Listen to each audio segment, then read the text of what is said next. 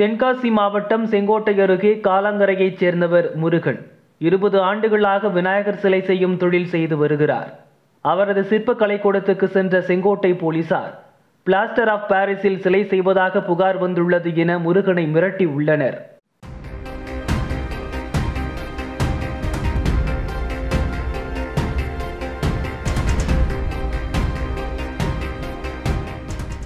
எளிதில் கரையும் பொருட்களால் தான் சிலை செய்வதாக முருகன் பதிலளித்தார். சிலை செய்யும் மூலப்பொருட்களையும் போலீசாருக்கு காட்டினார்.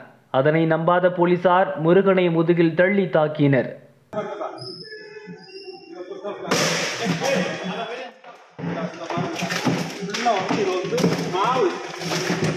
எந்த ஒரு இதுவுமே கிடையாது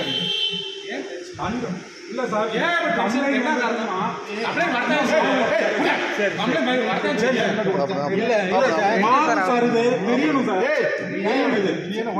முருகன் மீது மூன்று பிரிவுகளில் வழக்கு பதிவு செய்யப்பட்டுள்ளது.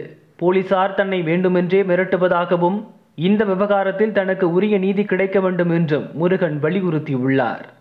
செங்கோட்டை காலாங்கரையில் வந்து விநாயகர் செய்கிற இதில் நம்ம விநாயகர் சிலை எல்லாம் செஞ்சு வந்து நம்ம சேல்ஸ் பண்ணிக்கிருக்கிறாங்க நான் செய்கிறது மொத்தமே வந்து கிழங்கு மாவு கப்ப மாவு ஜவ்வரிசி இது மூணுமே கலந்தது தாங்க இதில் மற்றபடி வேறு பிளாஸ்டர் பரிசு எந்த எதுவுமே கலப்படம் எதுவுமே கிடையாது.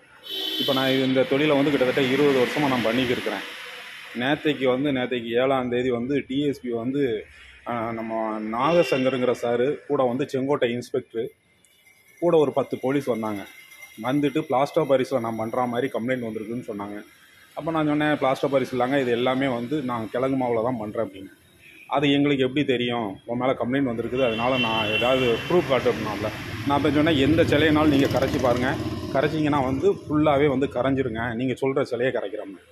அப்போ டிஎஸ்பி சார் வந்து அப்போ நான் எனக்கு எல்லா சிலையும் கரைக்கணும் நீ கரைச்சி காட்டுவியான்னாப்ல நீங்கள் எதை சொல்கிறீங்களோ நான் செய்ததுக்கு ரெடி சார் எந்த சிலையை சொல்கிறீங்களோ அதை நான் பிச்சு கூட காணிக்கிறேங்க அதெல்லாம் கிடையாது. நீ யார் எது எது எந்த கட்சியிலையும் இருக்கியாங்கல்ல நான் பிஜேபியில் நான் மாவட்ட துணைத் தலைவராக இருக்கிறேன் சார் பிரிவில் இருக்கிறேன் அப்படின்னு. நீ நம்ம பிஜேபியில் இருந்த பெரிய மயிரா அப்படின்னாப்ல. கேட்டுட்டு அவங்களாவே அடுத்தடுத்த வார்த்தை பேசிட்டாப்ல. பேசிக்கிட்டு வந்து நம்மளை பேசவே விடலை. எல்லாருமே சேர்ந்துட்டு அதுக்கப்புறம் என்னை முதுகை பிடிச்சி தள்ளினாப்புல தள்ளிட்டு ஒரு அடியும் அடித்தாப்புல அடிச்சுட்டு நீ எப்படி தொழிலை பண்ணிடுதுன்னு பார்க்குறேன் நான் அதுக்கப்புறம் ஒரு சிலையை பிச்சு காணிச்சேன் சிலையை பிச்சு காணிச்சிட்டு இதுதான் சார் என்னோடதுன்னு ரெண்டு அடி சிலையும் பிச்சு காணிச்சிருக்கிறேன் காணிச்சதுக்கப்புறம் நீ எப்படி தொழில் பண்ணிடுற நான் ஒரு வருஷத்தில் நான் உன்னை ஏதாவது ஒரு இதில் வந்து கேஸில் நான் உன்னை உள்ளே தள்ளாமல் விட மாட்டேன். அப்படின்னு சொல்லிட்டு ரொம்ப பேசினாப்புல. உடனே இன்ஸ்பெக்டர்கிட்ட சொல்லிட்டு நீ ஏதாவது ஒரு கேஸ் இவர் மேலே போட்டு உடனே எஃப்ஐஆர் போடு.